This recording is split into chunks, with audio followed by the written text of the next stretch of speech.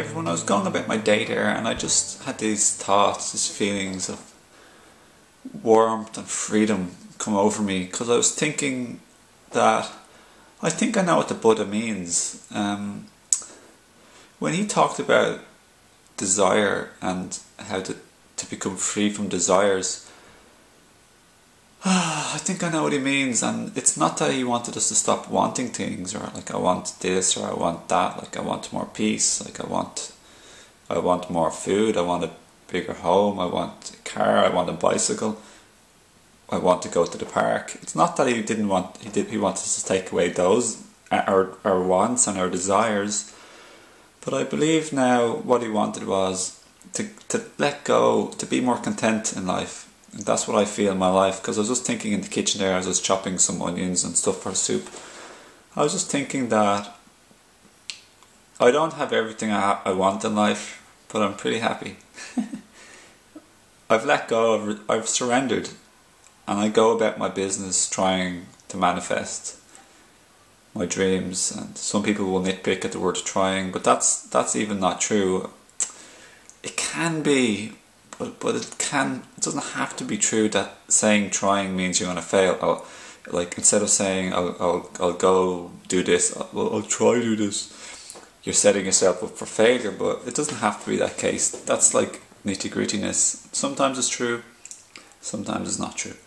So I do I do manifest my dreams and I try obviously I go about my business I put in the energy the effort the attention the constant the focus etc that's what I mean by trying and but at the end of the day, if you want a, a, tr- a true life of freedom, you have to live a life of non-attachment to the results, and it's even better if you trust in the universe that you're given what you need, and you're being guided, and everything it's all okay.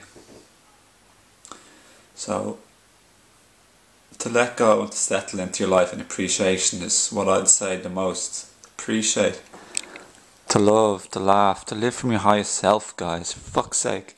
Not all this like stupid stuff. Just being a little bit playful. Not all this silly, stupid stuff like the modern, shallow stuff.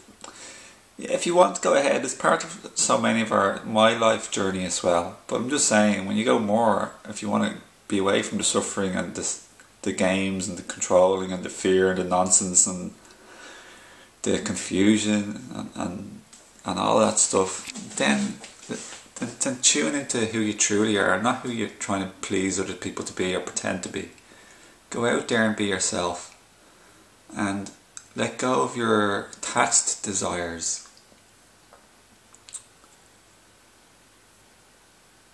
And find contentment in life for what you have instead of feeling empty or horrible what you're missing. This can be if you're missing a relationship, or if you're in a, a stinky relationship, which which I've been in with my like soulmate, and it's part of the big challenges and moving us to the next level. You need to know when to let go sometimes, and sometimes you need to know when you need to expand and grow and learn, adapt to take to take it to the next level. So, yeah. So be content and um, manifest your dreams from contentment and the abundance consciousness, the energy of having enough and feeling grateful instead of feeling lack and miserable. So this can apply to relationships, as I was saying, or it could apply to your health. Uh, like I lost all of my health um, from from a jumping jack being acrobatic, fit as a fiddle, marathon runner guy to just a puddle on the floor, like a mess. It's just terrible, you know, really bad, unhealthy, sick. So I learned patience and to let go then, but lately I've deepened in feeling happy in life. Quiet sense of happiness and there's power in being simple instead of trying to like know it all like because lots of people who are teaching on the internet will say the Buddha meant this, the Buddha meant that. But then I've seen them even change their mind about what they taught. So they didn't know it at the beginning. It was just their opinion because they changed their mind then. So I'm just saying it's my guess and opinion probably that that's what the Buddha meant. Um, so rather than me trying to be like this big know-all, important, like look at me, I know everything. There's power in being small. See, life is all about two different spectrums. We're massive. We're gods. We're cre- we're cre- divine creatures. We're huge. but at the same time, as a human, it's good just to sometimes be small and inconspicuous and quiet and unassuming. Yeah, unassuming instead of thinking you're better than other people and trying to attract attention for yourself. And as I was saying, there's like there's always two ways or much many ways. It's okay to attract attention if you feel like it. It's not wrong. I'm a people's person. I I I do what some people say, looking for attention, and some everyone does sometimes. But yeah, I like to play with people. I like to have fun and interact and engage. Sometimes, not all the time.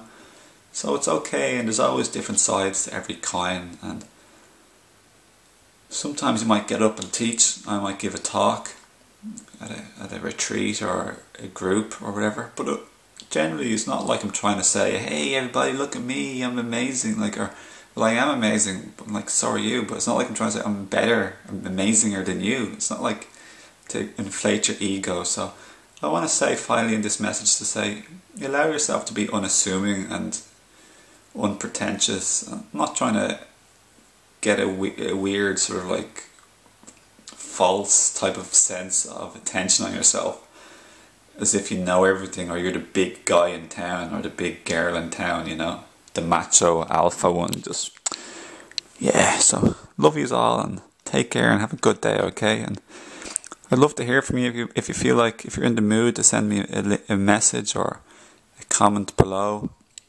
Just to connect. It's nice to connect. You know, I make these videos to connect and just to help other people out. So send me some hugs and love and kisses, and I'll send. I'm sending you some love, kisses, and hugs back today. So I'll see you in the next video hopefully and uh, have a good day for now and I hope this helps you in your life and I care about you in your life and life is awesome and I know it can be hard sometimes. We all go through these things so keep your head high and look for the solutions instead of focusing on the problems and trust, pray and focus on appreciation and what you have.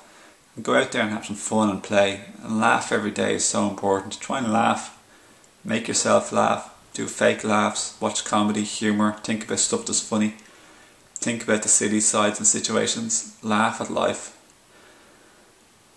And cry, of course. Just let out your emotions. Um, be kind and loving. Feels so good to be kind and loving. Don't be afraid to be you, to be real or genuine. look after your health and get out there and do some exercise and fresh air and nature and healthy diet and want to rest and sleep. Look after your rest and sleep. I forget there's something else in mind. hug, hug, hug, hug. I swear to God, it'll make you so happy in life. Go out there and hug a few people, people you know. Or yesterday, I hugged three strangers I met in the park. it made me so happy. It was like one of my highlights of the day. okay, take care now, and God bless to you watching now. See ya.